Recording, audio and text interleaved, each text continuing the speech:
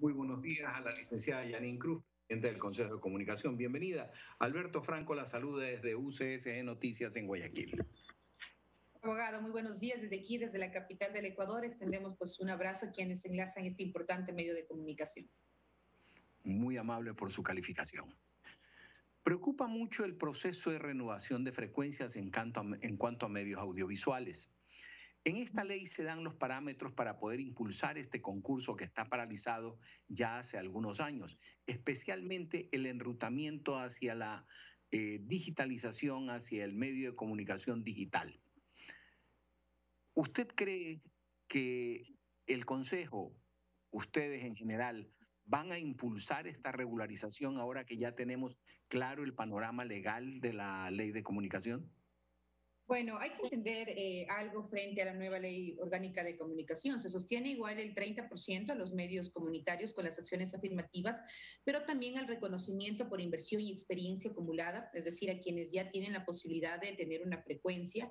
Y esto es importante también para establecerlo, sobre todo en el cumplimiento de quienes no pueden acceder a un concurso de frecuencia, las personas que no cumplan la normativa, como también quienes están fuera de la posibilidad de concursar y aquí eh, reza claramente ciertos articulados donde, por ejemplo, eh, miembros por parte del Consejo de Comunicación no pueden ser partícipes en la adjudicación de frecuencias. Como usted bien nos señala, creo que en esta normativa actual deja las cosas claras frente a quienes eh, tienen la habilidad eh, para poder concursar y quienes las prohibiciones en este caso que no, que no asumen. Así que nosotros como consejo, pues por supuesto tenemos que una vez que emite el Ejecutivo el reglamento, poder a trabajar en los estatutos dentro de la institución, pero también en el cumplimiento y el seguimiento de estas normas sobre la adjudicación de frecuencias. Normalmente los reglamentos se constituye en la forma de desarrollar los principios de derechos y obligaciones que la norma principal, la ley, establece. ¿De alguna forma ustedes están participando o asesorando al Ejecutivo en la realización de este reglamento?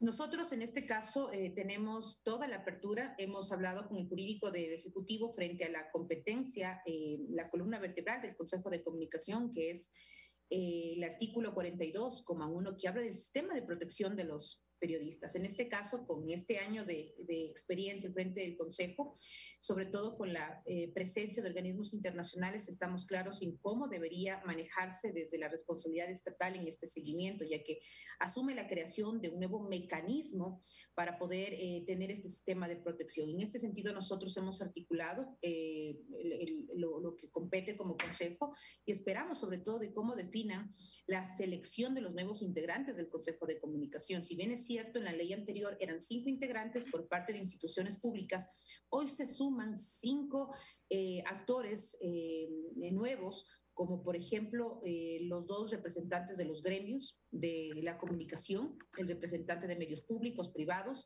y medios comunitarios y la nueva presencia de un representante de los ciudadanos. Esto tiene que reglamentarse para ver cómo se eligen a estos representantes. Hay que entender que esto es indispensable para la conformación del nuevo consejo y se pueda pues continuar con el trabajo desde la institución. En este momento en que se siente que hay cierto tipo de peligrosidad en las condiciones de trabajo para los periodistas, por denuncias de muertes, corrupción, sicariato, narcotráfico. Todo esto ha creado esa atmósfera de inseguridad, ya que usted ha tocado el tema y hace mucho tiempo, en algún gobierno anterior, se creó una especie de consejo de protección del trabajo del periodista, consejo en el cual no participamos los periodistas, sino solamente entidades gubernamentales. Dentro de esta estructura, ¿ustedes piensan retomar esa que existió incorporándole quizás algún representante de reporteros, periodistas, etcétera, o van a entrar a buscar una estructura absolutamente diferente nueva? De hecho, nosotros, eh, antes de la norma que se, que se haya aprobado en este momento, eh, tenemos un rostro mucho más desde el gremio. Tenemos, por ejemplo, anualmente nosotros eh, dispusimos desde la presidencia, eh, quien dirijo, el que se puede emitir informes tanto a la Federación Nacional de Periodistas como a la Red de Periodistas Libres, a la Unión Nacional de Periodistas, a Fundamedios y organismos internacionales de cuál es la realidad del quehacer profesional en nuestro país.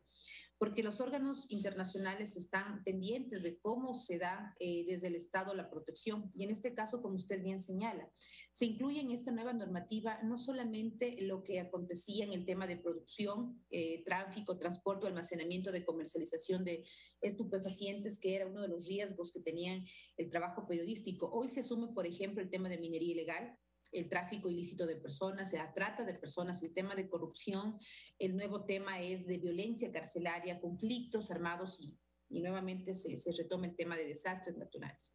Sin embargo, son temáticas que la normativa explícitamente refiere, pero bajo eh, la norma internacional, el Estado no señala las temáticas por las que debería proteger un periodista, sino abarca la responsabilidad estatal general para el quehacer profesional. Y ahí es en donde nosotros entendemos la importancia de hablar de este mecanismo, que habla la, la, la norma actual de la creación de un mecanismo de prevención. Y aquí también eh, está implícitamente el Estado. Eh, hoy tenemos, por ejemplo, la presencia tanto del Ministerio de Defensas, eh, tenemos relaciones internacionales, seguridad ciudadana, gestión de riesgos, derechos humanos, inteligencia. Y por otro lado, pues también están los diferentes gremios que forman partícipe, obviamente, de, de la forma en cómo se constituye el Consejo de Comunicación. Para mí es prioritario eso, porque qué mejor que los representantes sean quienes obliguen al Estado ecuatoriano a poder responder frente a este gran eh, tema del trabajo periodístico y la seguridad que requieren los colegas trabajadores de la comunicación. En la ley de comunicación ni en su reglamento se estableció el fondo de los objetivos de los medios comunitarios. Hablo de la ley anterior. Un poco quedaron a los deseos y a la visión de quienes los promovieron, sin entrar a servir propiamente a las comunidades, a las comunidades a las que se deben. En el desarrollo de la norma de los reglamentos en la actual ley, ¿se va a regular de alguna forma el objetivo, misión, visión y, realización a la que deben llegar los medios comunitarios? Eh, se debería abordar, obviamente, sobre todo eh, las responsabilidades de los medios comunitarios. Si bien es cierto, el Estado ha tratado de ser eh, muy realista frente a la realidad de cómo ellos eh, concursan para la eh, asignación de frecuencias. También entendemos que hay eh, ciertas eh, condonaciones de tributos, pero en la realidad esto no aplica. Por ejemplo, yo le voy a comentar, abogado, que la Contraloría General del Estado, por ejemplo, por no aplicarse el 33, 33, 34 de publicidad de instituciones estatales a medios comunitarios, hoy muchas instituciones del Estado, como alcaldías y prefecturas, tienen informes de Contraloría por no poder eh, eh, cumplir. En la actualidad tenemos 60 medios de comunicación comunitarios. Entonces, la realidad de muchas provincias, como por ejemplo un caso le voy a exponer, la provincia de Loja, tiene dos o tres medios comunitarios versus los medios privados. Entonces, disponer del 34% del presupuesto, por ejemplo, del gobierno provincial para los medios comunitarios dejaría sin posibilidad de pautar inclusive con los medios privados.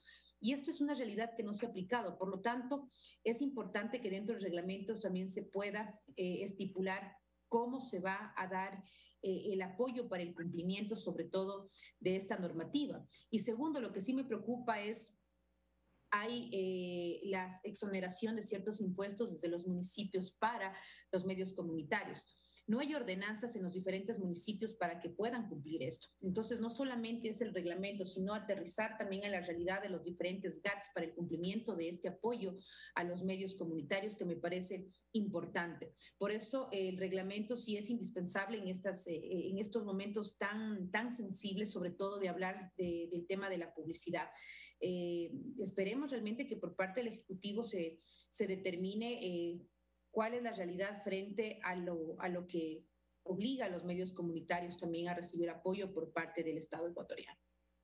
Claro, no se pueden establecer solamente eh, responsabilidades, sino también eh, derechos y obligaciones. Así es. Eh,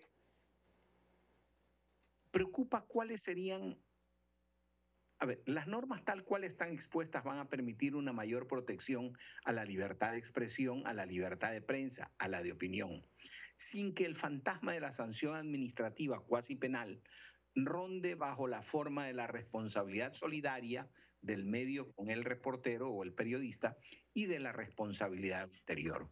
¿Usted qué opina sobre este, este formato que se ha tomado ahora? Bueno, hay que entender algo. La propuesta del Ejecutivo se basa a la ley, eh, a la contrapropuesta del Ejecutivo frente a la ley Mordaza que se aprobó. En este caso, nosotros entendemos algo, la responsabilidad ulterior de cada eh, periodista, de cada medio de comunicación. Personalmente, nosotros siempre hemos defendido desde el inicio la autorregulación. Y en este análisis, pues entendemos que si existe, por ejemplo, algún exceso o dato impreciso, cualquier ciudadano puede acogerse a poder pedir la rectificación o la réplica. Sin embargo, esto se es trasladado a la Defensoría del Pueblo para poder eh, que el juez determine si hay o no existe algún delito, alguna violación, algún derecho para que se pueda reparar, ya no con la persecución, ya no con eh, temas que nos...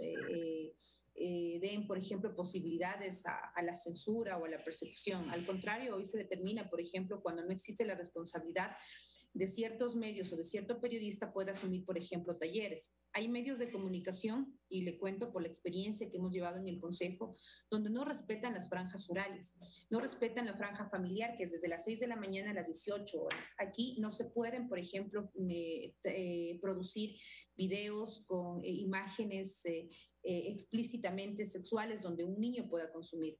Y en este sentido, pues es la Defensoría del Pueblo que puede encaminar una acción para que pueda este medio de comunicación capacitarse en lo que son los derechos del niño, niñas y adolescentes para evitar, obviamente, el poder eh, producir esta clase de contenidos que no pueden estar en una franja familiar. Entonces, es algo que de alguna manera conlleva la capacitación en el caso de existir algún, algún eh, evento o trastocar algún derecho.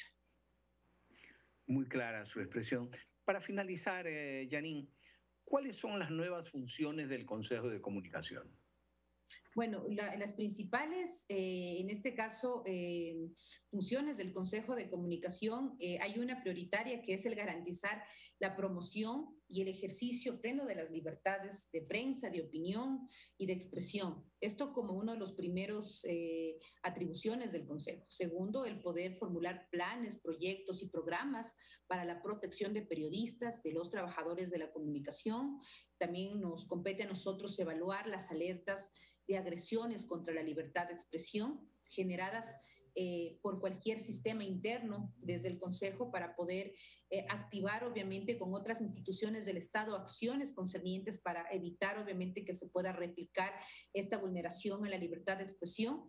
Y también aquí nos eh, conmina y nos obliga a elaborar y ejecutar eh, con la Autoridad de Educación Superior proyectos de capacitación, asistencia técnica integrantes del sistema de comunicación. Entiendas en esto, pues, como reza en el artículo 384 de la Constitución, que son instituciones del Estado. Entonces son temas importantes como también regular las franjas horarias, eh, vigilar procesos de participación ciudadana de medios públicos. Esto me parece que es indispensable para que se pueda cumplir con los principios de la autonomía. Hoy hay una queja generalizada de ciertos eh, sectores de, de los ciudadanos o de organizaciones de la sociedad civil porque critican que los medios públicos tienen una agenda política y no se abren en su totalidad para poder aceptar, por ejemplo, opiniones de quien piensa distinto de la autoridad, sea eh, radio municipal o sea una televisora eh, de los gobiernos eh, autónomos provinciales. Entonces son temas importantes que hoy nos, no nos competen a nosotros como Consejo de Comunicación,